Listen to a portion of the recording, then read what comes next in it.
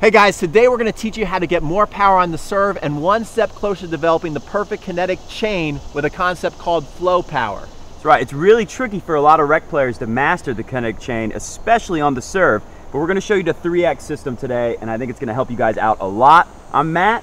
I'm Pete from Crunch Time Coaching. Let's get on the court and start hitting some serves. All right, Matt. So one of the things that robs so many tennis players out there of power is that they have a hitch in their serve. They throw the ball, the racket stops all a minute, stops, and then they go. The racket stops all minute, stops. So one of the things that I believe in is the power of three. Really practice some shadow strokes, making sure that you get this thing going on their own. Most people can do that once they practice for a little while. Gonna get that racket going. So what I'd like people to start doing is going one shadow stroke, two shadow stroke, and then let it go and hit the serve. One shadow stroke, two shadow stroke, and then let it go and hit the serve.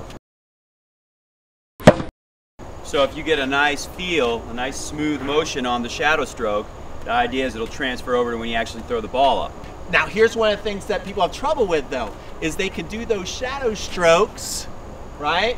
But then when they go to throw the ball up themselves, they struggle with that timing and then they go right back into the hesitation. So that's why Right. you're here to help me today because sometimes it helps to have a friend or coach by the side help you work out that timing to where I'm gonna be doing my shadow stroke for two and on a third ball, you're gonna throw it up. I'm and gonna toss it.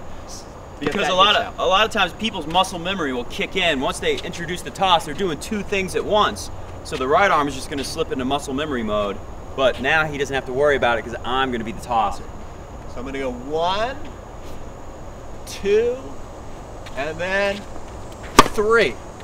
Not bad. Pretty Let's use- smooth. That's Try that pretty good. again. Let's try it again. We're ready. One, two, and then he lets it go, and then hit. Yeah.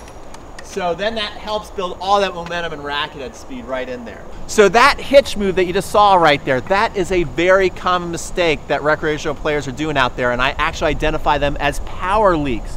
And in my 35 years of playing and coaching, I've actually identified over 20 possible power leaks that players are making out there. That's right. We saw all these power leaks, and then we knew we had to make a three-part series for you guys, totally free. We're to show you how to get into it really quick, but let's tell you about it. In video one, we're to show you another common power leak, but it's the easiest one to fix. And in video two, we're gonna show you something called the secret power source.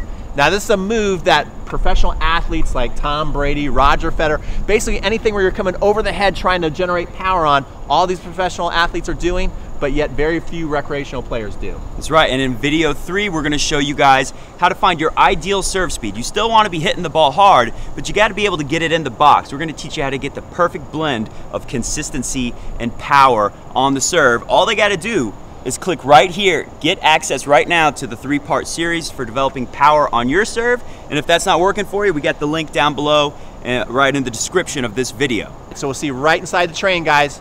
See you there.